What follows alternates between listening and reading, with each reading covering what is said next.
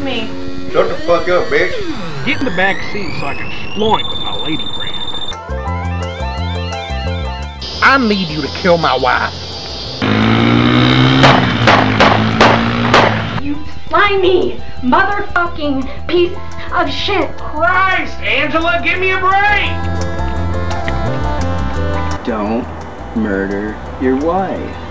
I told that midget bitch to squeeze my greasy fucking cock and fondle my little greasy fucking Puerto Rican balls. Teddy Bupkis. Teddy Bupkis. Teddy fucking Bupkis. I'd prefer if you called me up, Chuck. Fucko!